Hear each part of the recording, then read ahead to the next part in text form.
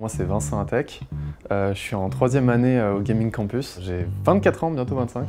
Le programme GART, on a donc des fondamentaux qui vont passer sur euh, le dessin d'objets, les fondamentaux 3D, l'anatomie, l'histoire des arts. Et après en fonction des années, il y a plus ou moins de spécificités. En troisième année, on a les SP2D, les SP3D.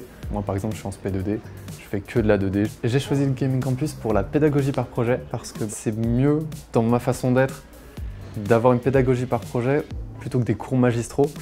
Et du coup, bah, en fait, quand je suis arrivé, les premières semaines, les premiers cours, ça m'a bien conforté dans cette idée, puis j'apprenais plein de choses, j'étais content.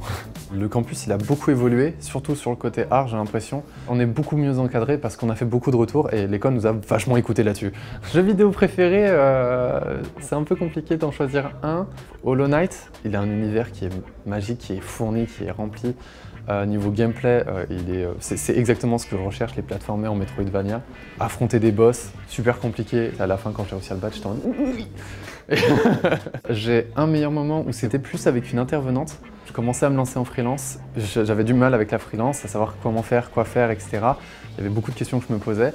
Et en fait, elle m'a donné énormément de conseils. Elle a pris 40 minutes pour tout m'expliquer. Camille Rivière, si, vous entendez, je, vous adore. Un conseil pour les futurs étudiants. L'école va donner 50% du boulot. Nous, faut faire 50% autre.